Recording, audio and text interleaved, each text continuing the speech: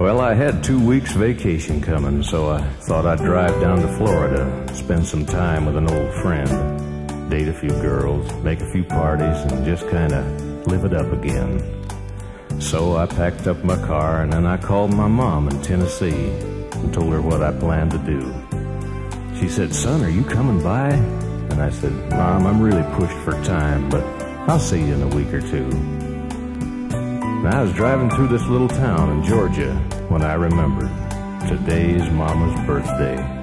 Well, I thought I'll just stop and wire some flowers. Shouldn't take too long. Then I'll be on my way. So I walked in the flower shop, and the first thing I saw was this little boy with his eyes full of tears. I said, What's wrong, son? He said, Mama loves roses, and today's her birthday, and I haven't seen her in almost a year. Roses for Mama.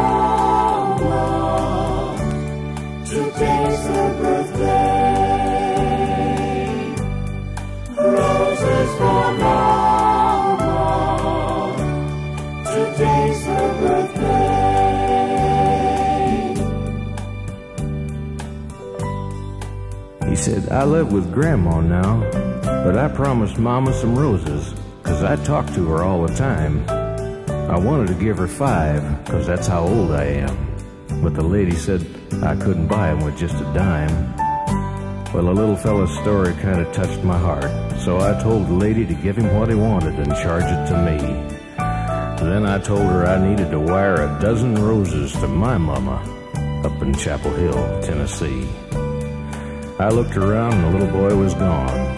But all of a sudden the door flew open and he come running back in. He said, Mister, I forgot to thank you for the roses. He smiled, and shook my hand, and ran back out again. Well, I started on out of town, and I was feeling real proud of myself for thinking of my mama and really caring. When I looked out the window and I saw that same little boy kneeling by a grave in an old cemetery.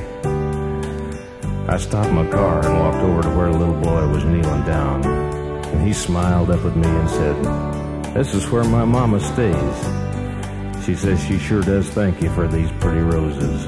Well, that's when I had to walk away. And I drove straight back to that flower shop and I said, Lady, have you sent those flowers to Tennessee?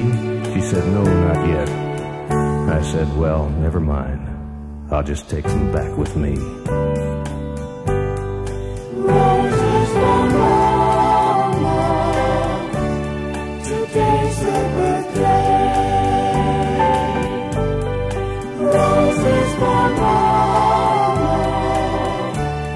to do.